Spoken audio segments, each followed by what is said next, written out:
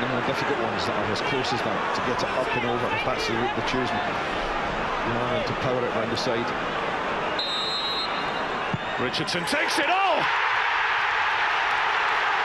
A goal from the heavens for Kieran Richardson. And if that is to end the drought, well, what a fitting strike with which to do it.